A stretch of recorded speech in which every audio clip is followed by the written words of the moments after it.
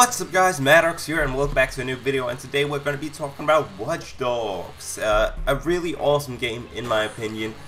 And uh, before we just hop into what I think of the game, first of all I do want to say I haven't played that much and that is uh, largely down to my playthrough. And because you know I gotta record all the time when I play the game and commentate at the same time and I'm kind of awkward about my YouTube and my parents and stuff. So I kind of keep it to myself and when my parents are home and just walking around and you know, doing whatever, cleaning and shit, and it's a lot of noise. I don't want to play the game, so I haven't made it that far into the game so far.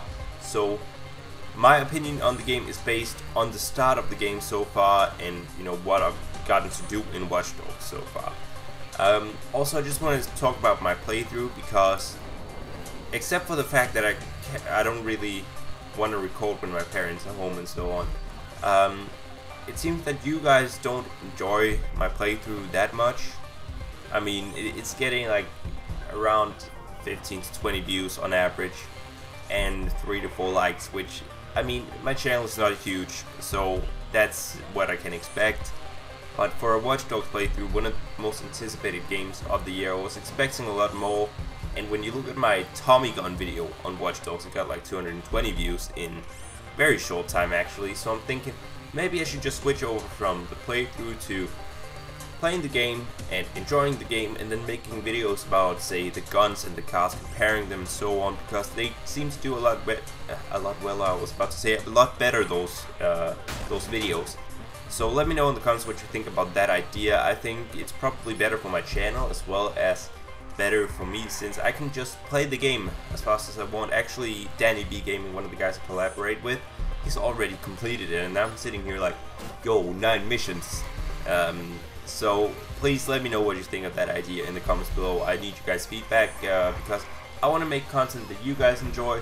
It's really important to me. So the game itself it's it's a great game as I said in the beginning but one thing I really do not like about it is the car physics uh, the gameplay you're seeing right now is a fixer contract where I have to the first one was like a checkpoint race something uh, and I completed that fairly easily. But as I go to the other one and actually arrive at it, I drive over like a sidewalk and the car completely flips and it makes no sense because the cars they feel really heavy to drive like they're really they don't turn very well and when you turn very, very sharply they'll just suddenly spin out and it really they don't feel good to drive at all and then you hit like a bump or something and they'll just go flying and then they're really light it just doesn't make sense. I don't like any of that the driving physics are awful the cars look awesome I gotta say that but the driving physics are really awful.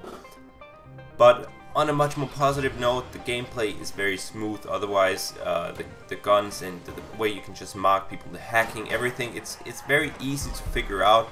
But at the same time, you gotta use your brain a little bit when the, when it comes to the hacking. Um, and the guns and the gunfights, it, it feels really nice. There's not that much auto aim like in GTA, and the guns kick a lot more. It makes it feel more realistic. And also the story itself, it seems a lot deeper than say GTA Story. I don't know, that's maybe because I didn't play that much of GTA Story. I played more, way more online than I played story mode in GTA because I got the game late and it was just all about having fun with my friends, you know.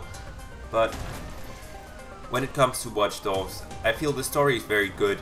You have like a lot of intel from the beginning and you know I can kind of connect to Aiden Pearce. I can uh, I can see his motives uh, not that I can really follow his uh, his decision making sometimes where he like for example his sister will say don't do this because you'll just uh, hurt us even more and then he goes and does it.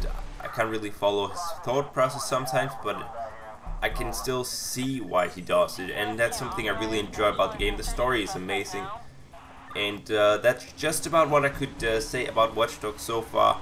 I wanted to get this out of the way because first of all it's a really awesome game, but also I cannot play it that fast because of my playthrough. So I wanted some feedback from you guys. Please do leave me it in the comments below, and I'll see you guys on my next video. Peace out, guys.